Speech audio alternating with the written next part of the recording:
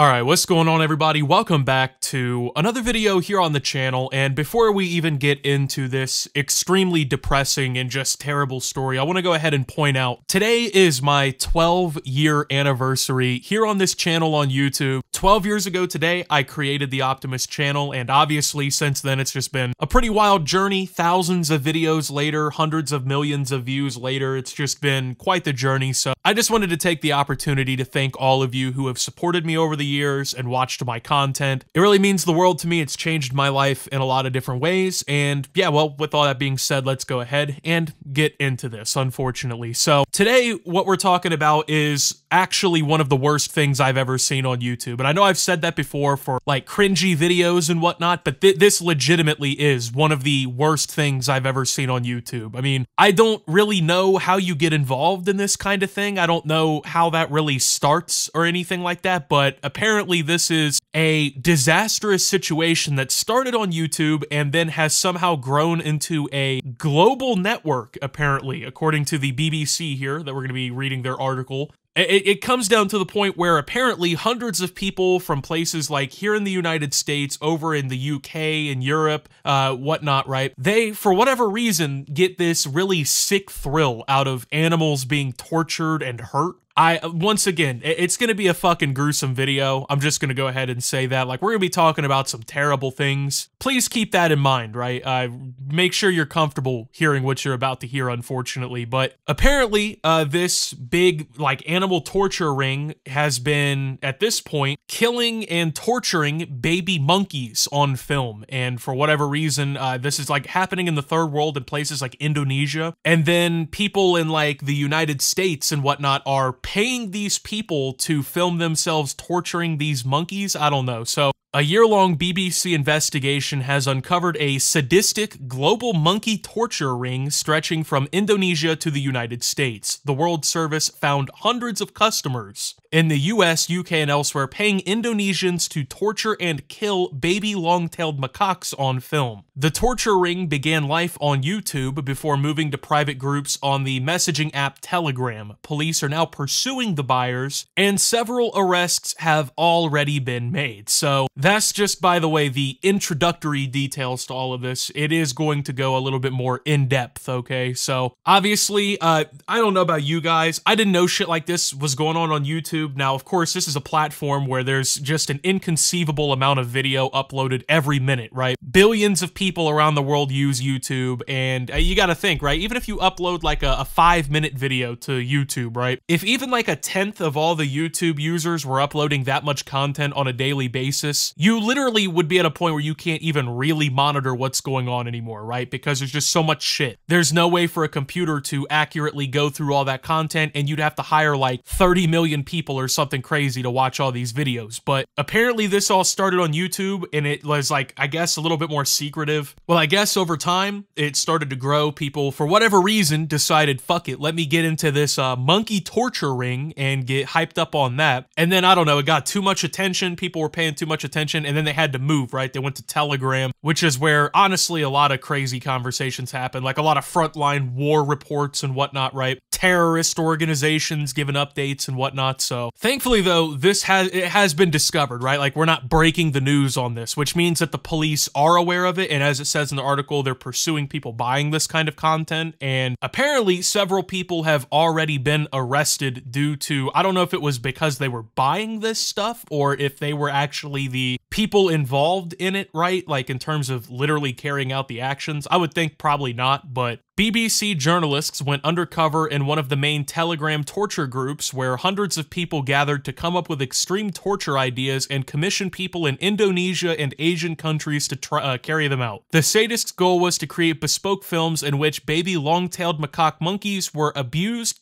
tortured, and sometimes then killed on film. The BBC tracked down both the torturers in Indonesia and distributors and buyers in the US and gained access to an international law enforcement effort to bring them to justice. At least 20 people are now under investigation globally, including three women living in the UK who were arrested by police last year and released under investigation, and one man in the US state of Oregon who was indicted last week. Mike McCartney, a key video distributor in the US known by his screen name The Torture King, agreed to speak to the BBC and describe the moment he joined his first Telegram monkey torture group. Quote, they had a poll set up, McCartney said. Do you want a hammer involved? Do you want pliers involved? Do you want a screwdriver? The resulting video was the most grotesque thing I have ever seen, he said. So, I mean, what the fuck do I even really say here, right? Like, I, I think the story tells you all the detail you need to know here. I mean, not only is this shit not normal, not only is it not compatible, I feel like, with a decent modern human society, but this is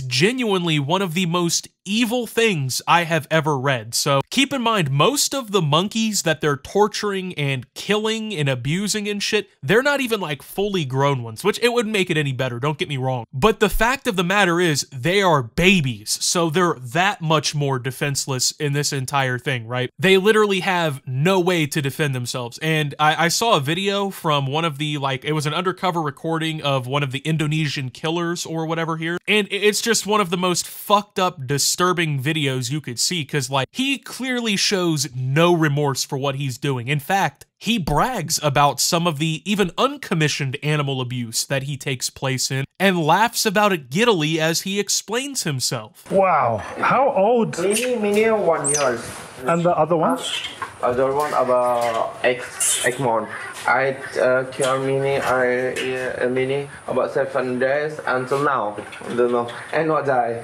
You know, I have uh, the the 20, 20 more, and they are gone. Oh no. When you you hit them, Yes, things, yes, huh? do, do you do you like? Yes, yes, yes. I hit if I very very angry. I poop in the wall. I don't know why. In my in my soul, like oh, I saw oh. about seven days ago, many almost died twice. She out and then I I put and then and out again. Oh, that is make me so angry. I put a head and I like a wall. and you know, uh, blood, blood, uh, uh, out in the mouth. That- That's so good. If, if you want, uh, we can make a video together. Tomorrow? Uh, tomorrow maybe uh, is okay. Oh, let me see them before I go. Okay, okay, okay, okay, okay. Ah, There's many, huh? Yeah. Oh my goodness. Can I take a photo? Video is okay, bro. Wow. Cool. Okay, bro. I will call you later and we meet up. Okay. Yeah? Okay, bro. You got this. See you.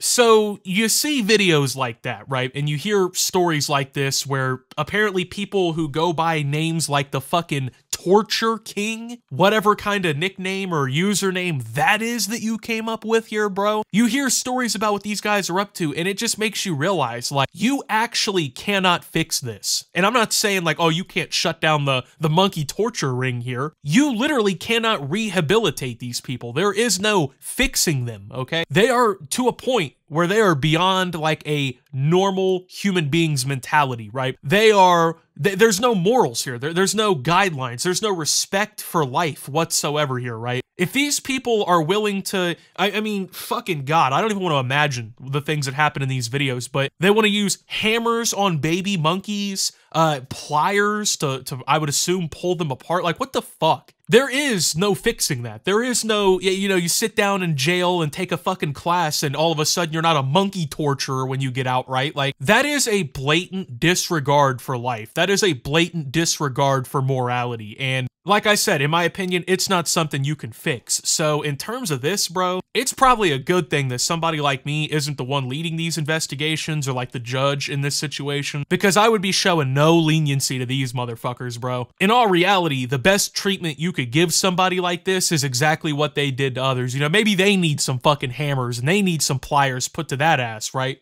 But of course, you know, we as people, as humans, we realize like that is a very violent and cruel way to treat somebody. Most normal people would be like, what the fuck is wrong with you? But like I said, I don't even know how you get into this, right? Like there's people in the United States fucking buying these videos. First and foremost, how does that work? And, and like how much money has to be getting traded to do this, right? Now I know in places like Indonesia, the US dollar is usually way better than the local currency for them. So, you know, if you get sent like 300 bucks by the fucking torture king to pull a monkey in half, that might be like six months salary or something. I don't know the full like numbers or whatever that actually translate across, but you know what I'm saying? Like there's people in these like less privileged, underdeveloped countries and whatnot where, you know, they don't make even remotely close as much money as people like here in the US, for instance, do. And so I don't know if they just see that money and like it's good enough. I don't know. I, I really don't know. I don't know if this is like what they just do for fun in their spare time in their house. I, I, I really don't know, but it just really blows my mind because like I've used YouTube since I was a child, you know, and I've never, first off, come across something like this. And even if I did, like I can't imagine being like, all right, so I, I'm on YouTube and I just saw a monkey get blown up with a homemade cooking bomb. I think I'm gonna join this guy's Telegram and hang out with him and fucking custom commission some content. Like, what the fuck is going on here, bro? I, I don't know if you guys really realize that, right? There was a dude in fucking Oregon who was dead ass sending money to people in Indonesia so they could send him back videos of them torturing and killing baby animals. Like, that is Uh, that's actual serial killer shit. Like that's something you would expect to see in like a fucking I don't like a John Wayne Gacy or a Jeffrey Dahmer or something like that, right? Like yeah, oh yeah, he he he paid for videos of monkeys being tortured and shit. Like what is wrong with you, man? And then they're out here interviewing this guy and he's just, you know, trying to fucking make it look, oh, you know, I just stumbled across it. By the way, here's a picture of the torture king.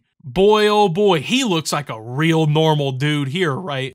McCartney, a former motorcycle gang member who spent time in prison before entering the monkey torture world, ended up running several Telegram groups in which hardcore torture enthusiasts distributed videos. Quote, It's no different than drug money, he said. Drug money comes from dirty hands, this money comes from bloody hands. The BBC also identified two other key suspects who are now being investigated by Homeland Security. Stacey Storey, a grandmother in her 40s from Alabama who was known in the community as sadistic, and a ringleader known as Mr. Ape, whose real name we cannot reveal for safety reasons. Mr. Ape confessed in an interview with the BBC that he had been responsible for the deaths of at least four monkeys and the torture of many more. He had commissioned extremely brutal videos, he said. Storey's phone was seized by Department of Homeland Security agents who found nearly 100 torture videos, as well as evidence she'd paid for the creation of some of the most extreme videos produced. According to police sources, Storey was active in a torture group as recently as earlier this month. Approached by the BBC in Alabama in January, Storey claimed she had been hacked and declined to comment on the allegations in detail. Yeah, you know, she was just fucking hacked. It happens, bro. Uh, yeah, some guy hacked my account and spent 30 grand on videos of monkeys being fucking shot with pistols and whatnot, right? Like, shut the fuck up. I don't even know who these people are trying to fool. And then, like, this other dude, Mr. Ape, they can't real, they can't, we can't reveal his name for safety reasons. You know, the guy who's been fucking crushing monkey skulls for fun on video? Yeah, we're real worried about that guy's safety and security. Fuck that, dude. Fuck that. That guy's full name, pictures of him, everything should be on full fucking blast. These people are out here with literally hundreds of torture videos that they're paying and commissioning for, and nobody gives a fuck. Oh, we, we can't we can't share his name, man. Uh, that, that'd be going too far. Fuck that, dude. And then this one idiot. Oh, it's no different than drug money. It comes from dirty hands. This money's from bloody hands. This guy's too fucking stupid to realize he just literally right in that sentence named the key difference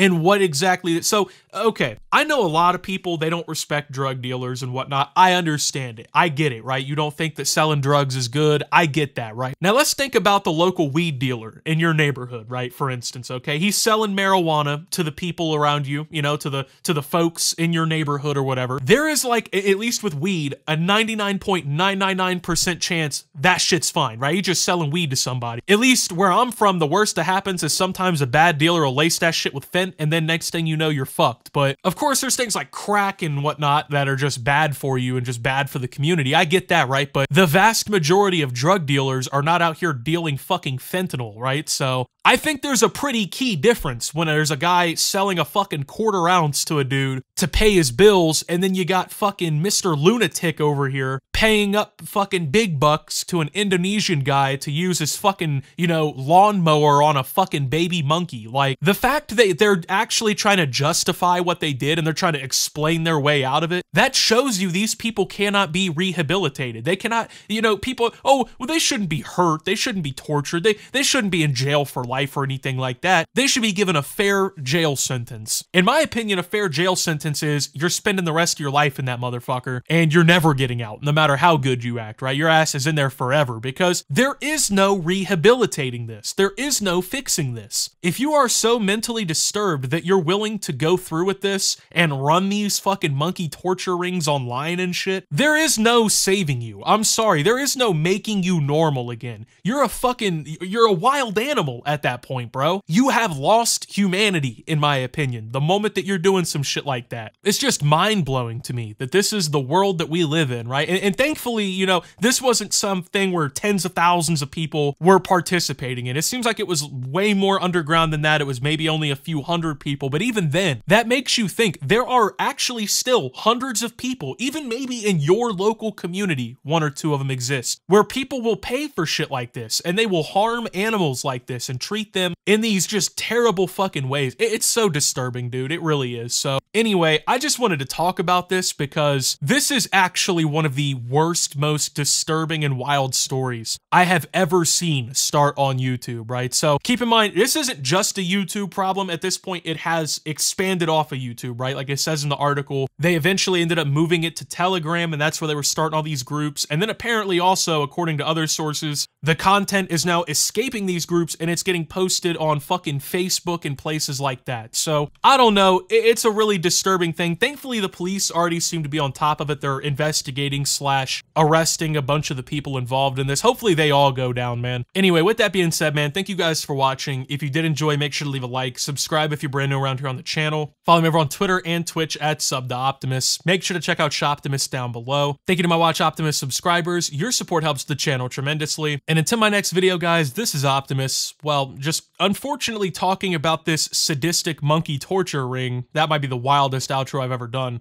uh, but and signing out. And that's a wrap on this video, but big shout out to my Optimus Nation supporters. You guys are the real MVPs. For $10 a month, you get access to loads of exclusive videos and archived live streams, my members only Minecraft server where you can possibly appear in gameplay, early access to all new uploads, an invitation to the private Discord, and much more.